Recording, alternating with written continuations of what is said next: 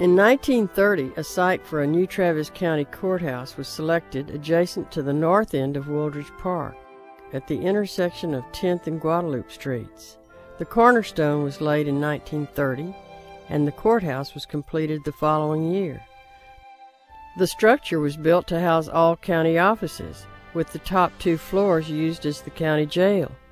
Designed in the modern style by Page Brothers Architects and built by H. E. Wattinger Contractors, the 1931 courthouse broke with the classical design elements of the past.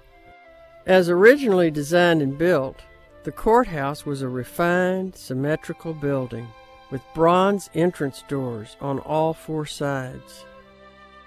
By the 1950s, however, the county was already outgrowing the courthouse.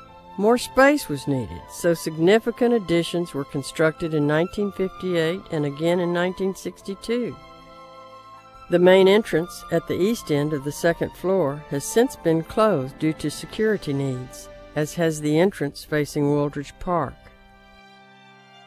As more courtrooms have been crowded into the building, one of the original main courtrooms has lost its high ceiling but the hope remains to preserve and restore the courthouse as a significant piece of architecture and as a focal point for the life of the community.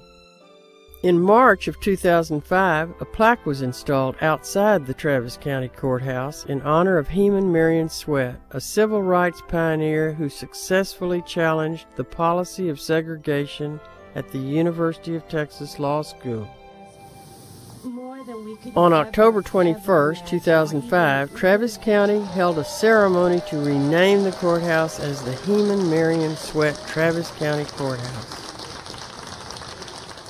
For information on the many historical markers found in Travis County, visit the Texas Historical Commission's Texas Historic Sites Atlas website, located at atlas.thc.state.tx.us.